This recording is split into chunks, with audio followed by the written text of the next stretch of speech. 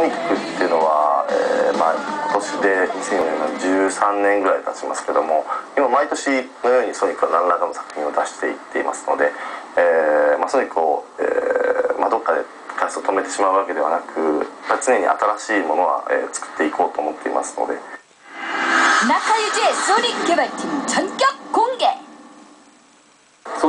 제작진은 낙하유지에게 소닉팀을 공개해줄 것을 요청했다. いただけますかあんまり今ちょっとお見せできないものもたくさんあるのでちょっと難しいんですけども